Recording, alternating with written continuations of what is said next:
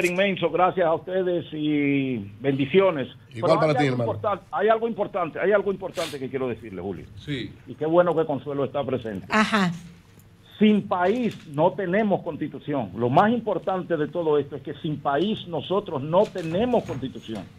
Y la denuncia que ha hecho el presidente Leonel Fernández de que se han otorgado 400 mil visas, más el anuncio de que se han otorgado 138 mil residencias en lo que va de año, eso demuestra que en dos años esta constitución no va a tener ninguna validez.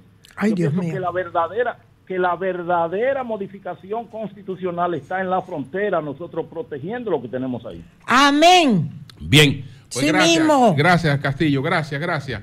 Señores, nos vamos inmediatamente al primer Santiago de las Indias de América con Jaime Tomás. Buenos días, don Jaime. Adelante. Buen día, señor Martínez Pozo, y buen día a los demás integrantes del Sol de la Mañana. Yo quisiera aportar algo con relación a todo lo que tiene que ver con la Constitución de la República, pero son tanto los entendidos, tanto los juristas, los jurisconsultos que hablan sobre la Constitución y no se ponen de acuerdo. Por ejemplo, en el caso de La Vega y de a qué órgano le corresponde eh, escoger a el alcalde de ese municipio, pues hay tantas desavenencias porque una persona que uno da como muy docto, que es el caso de Milton Rey Guevara, dice que el Poder Ejecutivo no tiene injerencia en este, en este tema. Sin embargo, dos dirigentes del PRM dicen que sí, que es, es un asunto de interpretación.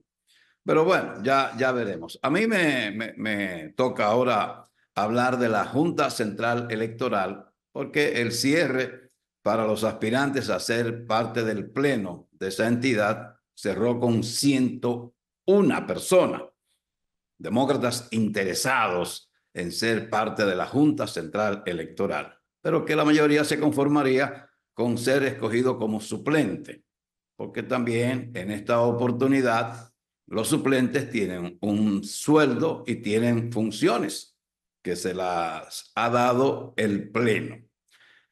Las conjeturas son diversas.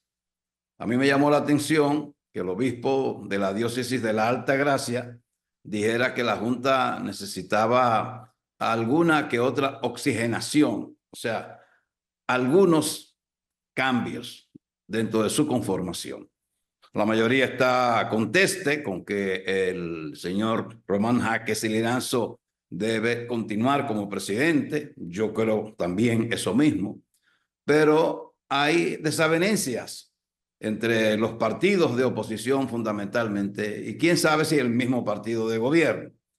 Pero hay una campaña que sale de la misma junta y de los partidos de que hay dos que no debieran continuar en la Junta Central Electoral. Yo me voy a reservar nombres porque no es más que una especulación, no tengo la certeza de que así sea, pero sí sé que hay, eso sí, estoy seguro de que hay una campaña dentro y fuera de la Junta contra dos de los miembros, una hembra y un varón, porque ellos han adoptado eh, posiciones que no han sido del gusto de delegados de partidos representados ante ese organismo. Eh, ya veremos finalmente cuál será la decisión del Senado, que va a comenzar a entrevistar dentro de un par de semanas a los tantos aspirantes. La mayoría me imagino que ni siquiera nunca en su vida ha trabajado en un colegio electoral, ni le interesó tampoco hacerlo, pero sí le atrae eh, el salario, lo, los beneficios que tiene ser miembro de la Junta Central Electoral vehículo, seguridad, choferes, eh, seguro internacional y otros privilegios que da la posición. Y son demócratas la mayoría, supongo, por lo menos eso se alega. Eh, vamos a esperar. Eh, hay quienes creen que la Junta debe, el Senado debe confirmar a los cinco miembros actuales. Pero hay sus desavenencias aún hacia el interior de la propia Junta.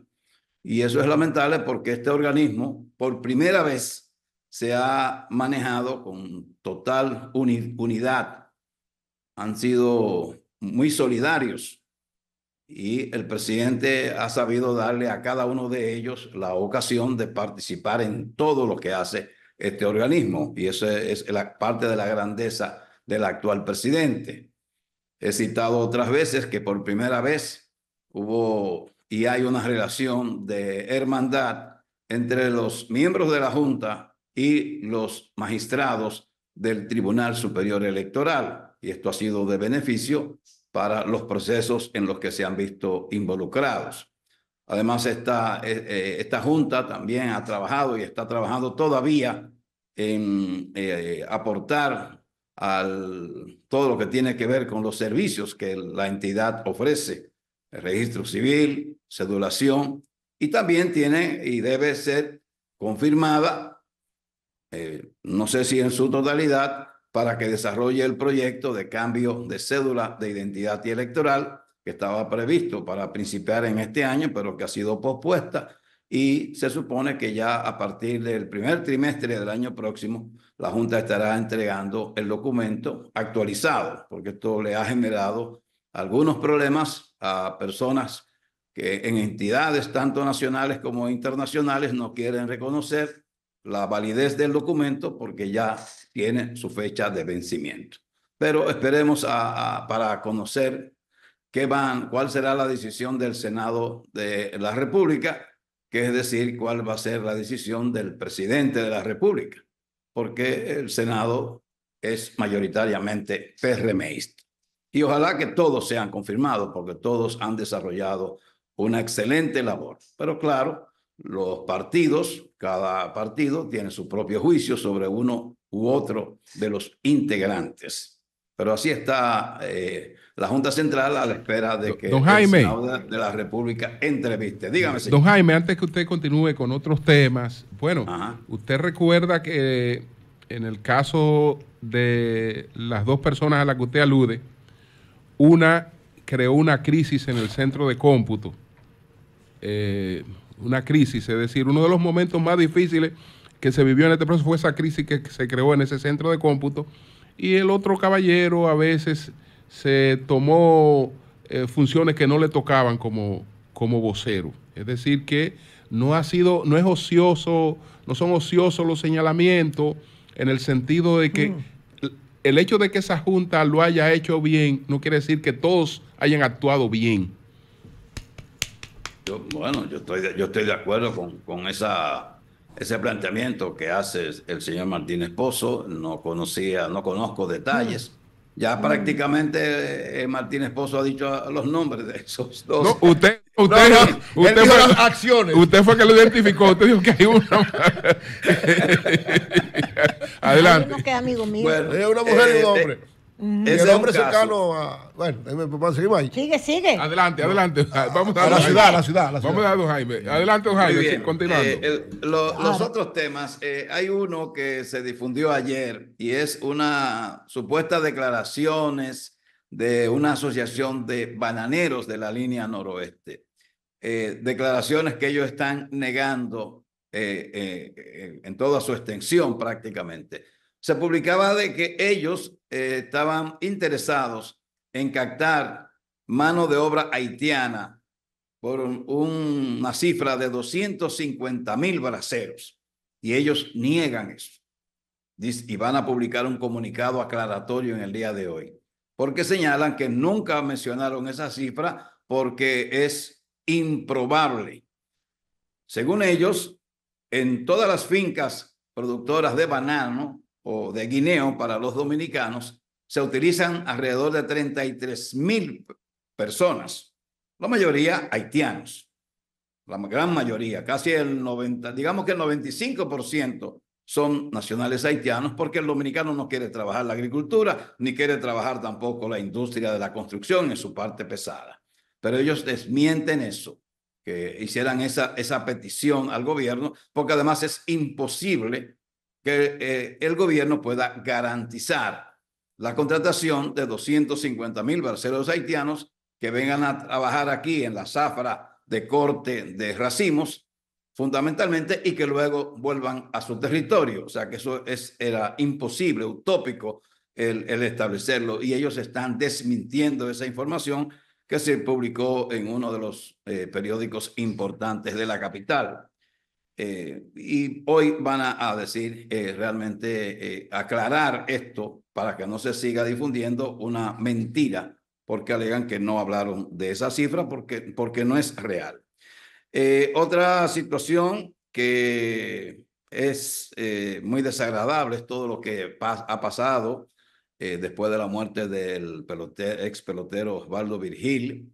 Eh, hoy su cadáver está en el Instituto de Ciencias Forenses, el INASIF, para una necropsia, porque los hijos entienden y necesitan, más que, que duden de la muerte, lo que necesitan es la certificación de su fallecimiento para ver si tienen acceso a los beneficios que el señor Virgil recibía desde los Estados Unidos. Pero hay ahí toda una situación que es desagradable con el tema de la dama que lo acompañó durante 25 años, que no estaban legalmente unidos, pero hay que recordar a, quienes no lo tienen presente que existe una decisión del Tribunal Constitucional de hace cuatro o cinco años que estableció que cuando hay una relación de más de cinco años permanente entre una pareja, ambos tienen derecho al 50% de lo que pueda estar eh, involucrado. Y el tema con los hijos hoy día es mucho más difícil porque el interés económico prevalece eh, ante el sentimiento y ante la realidad de las cosas. En mi caso, yo soy, me gusta personalizarme mucho. En mi caso, yo no tendré ese problema porque lo que voy a dejar es deudas. De manera que ahí nadie va a pelear por mí. Entonces, eh, otra situación que yo quiero señalar hoy en este comentario y es el hecho de lo, dicho por el nuevo director general de migración, que es un militar. Ya uno no sabe si atenerse a lo que se publica, aún sea en periódicos reconocidos, porque eh, no muchas veces se dicen las cosas como son, se titulan eh, informaciones para llamar la atención del lector que de por sí cada día es menos. Entonces, habló de dominicanidad el director general de migración y que él va, a hacer prevalecer la dominicanidad. Y eso al oído de muchos suena, suena muy bonito. Pero realmente lo que tiene que hacer el director general de migración, y también lo dijo, es evitar el chantaje, el macuteo de los oficiales y civiles que trabajan para ese organismo. En Santiago hay distintos testimonios de apresamientos de haitianos para cobrarle un dinero y ponerlo en libertad. Hay denuncias de que inspectores de migración asisten los viernes, día de pago, a obras, a grandes construcciones para apresar a los haitianos y quitarle el dinero o que ellos se lo den para ponerlos en libertad. Y han sido muchos los ingenieros y otras personas que han tenido que acudir a donde se estacionan los autobuses y los camiones con, que están recogiendo haitianos para pagar hasta 15 mil pesos para que lo pongan en libertad. Entonces, ese militar tiene que emplearse a fondo no en mantener la dominicanidad y, promover el antihaitianismo, no, no, es en organizar a las huestes que integran esa entidad para que se evite esa forma malsana de ganar dinero con el sudor de hombres y quizás de mujeres que no tienen, probablemente, eh, digo, casi seguro que están en condición de ilegalidad en el país. Y lo que deben hacer es, en, todo caso, si lo apresan, es repatriarlos, pero no exigirle dinero para dejarlos en libertad en el territorio dominicano. Entonces yo entiendo que el general que está ahora al frente de ese organismo, en vez de estar de patriota, lo que tiene que hacer es velar por el cumplimiento de la ley, tratar a los haitianos como seres humanos, repatriarlos si están en condiciones de ilegalidad pero evitar fundamentalmente que los inspectores de migración, tanto en la frontera dominico-haitiana como fuera de ahí, estén macuteando, estén cobrándole dinero a los haitianos para dejarlo en el país. Esa, esa es la tarea fundamental que tiene este nuevo funcionario. Y quiero ya terminar con el tema de unas cancelaciones que fueron varias en Santiago de periodistas. Todo el mundo es periodista ahora, pero todo el mundo es comunicador, no sé ahora cómo decirle a uno y a otro.